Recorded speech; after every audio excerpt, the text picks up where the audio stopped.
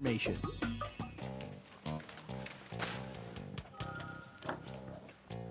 A quadrilateral four-sided polygon, which means that it's a shape that has four sides.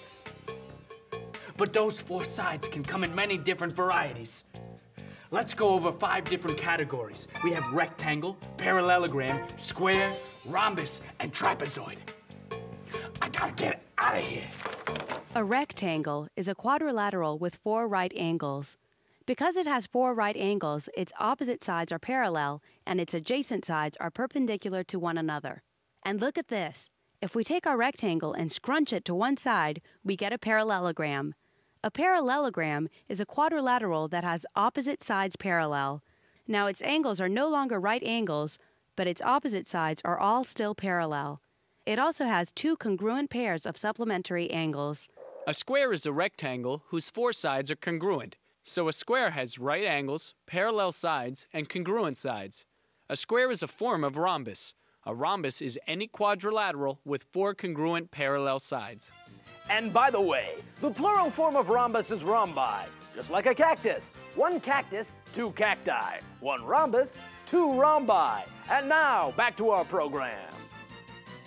There's one more shape. A trapezoid is a quadrilateral with only one pair of parallel sides. In this trapezoid, segments AB and DC are parallel.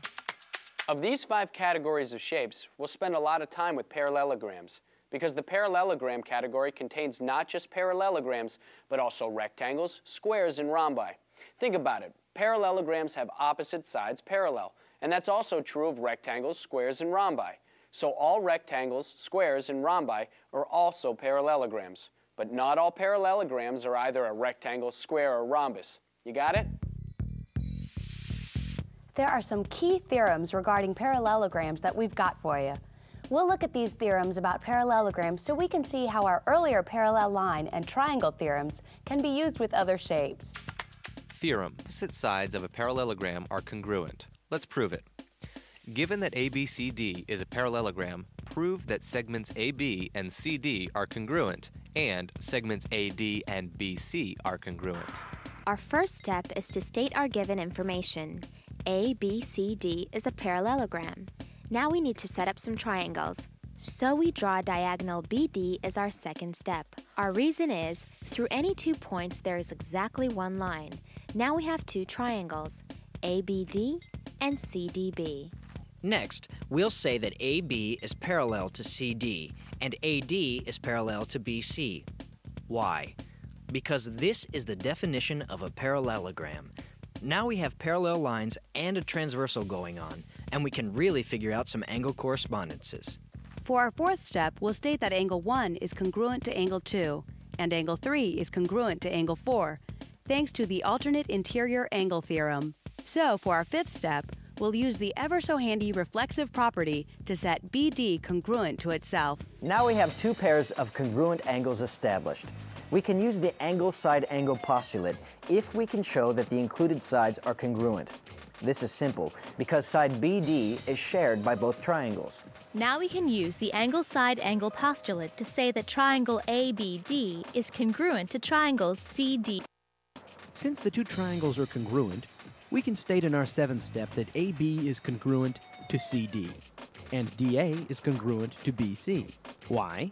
Because of CPCTC. Corresponding parts of congruent triangles are congruent. See? AB and CD correspond, as do DA and BC. So they're congruent, and we've proven our theorem. Opposite sides of a parallelogram are congruent. So now we have a good understanding of triangles and how they fit into parallelograms. Just remember that even though your diagram doesn't have triangles in it, you'll often need to draw them in to do your proof. The triangle congruence postulates are very powerful. Now let's move on to similar triangles. Part 2. Similarities between triangles. So we know that triangles come in a lot of different shapes. They can be acute, obtuse, right, and occasionally Bermuda. Now we're going to learn about a new term that applies to all polygons, including triangles. This term is similar. Two or more polygons are similar when they're proportionally the same size, but not exactly the same size. When we write similarity, we use a tilde in place of an equal sign or congruent symbol. Let's take a closer look at what similarity means. When two polygons are similar, we know two things. First, the corresponding angles are congruent, like angle A corresponds and is congruent to angle D. Angle B corresponds and is congruent to angle E, and angle C corresponds and is congruent to angle F. So, in triangles ABC and DEF, the corresponding angles are congruent. Second, the sides will be in proportion. Let's take a closer look at what we mean by sides being in proportion. Corresponding sides are in proportion when the ratio of the lengths of a side, in this case AB, and its corresponding side, DE, equal the ratio of the lengths of two other corresponding sides, say side BC and its corresponding side EF. Let's set up our ratio. Side AB is 2 inches, side DE is 5 inches, so we have 2 inches over 5 inches. We set this equal to the length of side BC, 4 inches, over the length of corresponding side EF, 10 inches. So we have our ratio set up. If the sides are in proportion, this will be a true statement. Let's check it by cross multiplying. 2 inches times 10 inches equals 20 square inches. On the other side, we have 4 inches times 5 inches. This equals 20 square inches. So the ratio is preserved and the sides are in proportion. It's easy to prove the other sides are in proportion too, so we'll move on to new topics. Yeah, uh, how can I tell what parts of a polygon correspond to parts of another? Remember what we did with corresponding parts when we talked about CPCTC earlier? All you use is common sense. Let's say you're trying to prove two pentagons similar. Pick sides that look similar and test them against the sides next to it. Then everything else will fall into place. Like, for example, in pentagons ABCDE and FGHJK, we set the lengths of the smallest sides, AB and FG, in ratio to one another, along with the lengths of nearby sides BC and GH.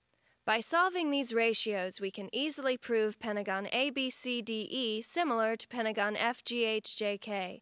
And since the pentagons are similar, that means all the corresponding sides are in proportion as well.